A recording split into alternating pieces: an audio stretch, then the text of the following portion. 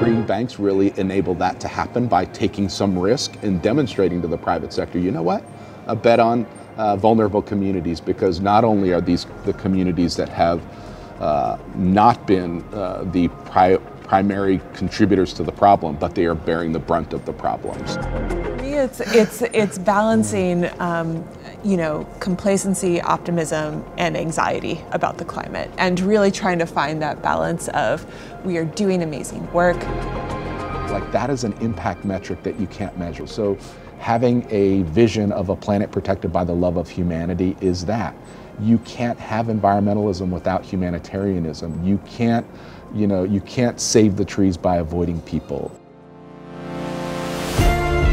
Hello, and welcome to season two of Conversations on Climate, in which I've been leading a series of conversations with experts from around the world exploring the biggest challenge of our time, climate change.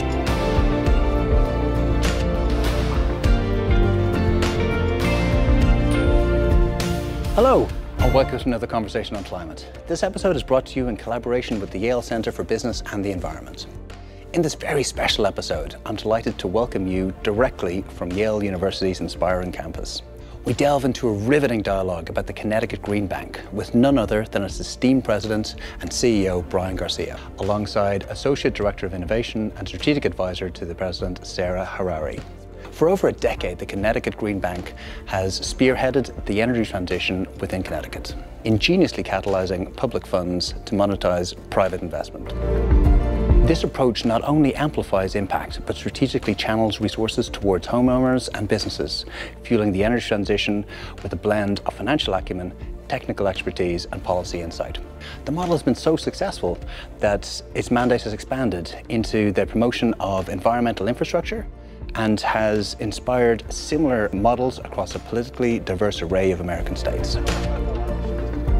Bryan and Sarah also provided a fascinating deep dive into arguably the most important climate legislation anywhere ever, the Inflation Reduction Act.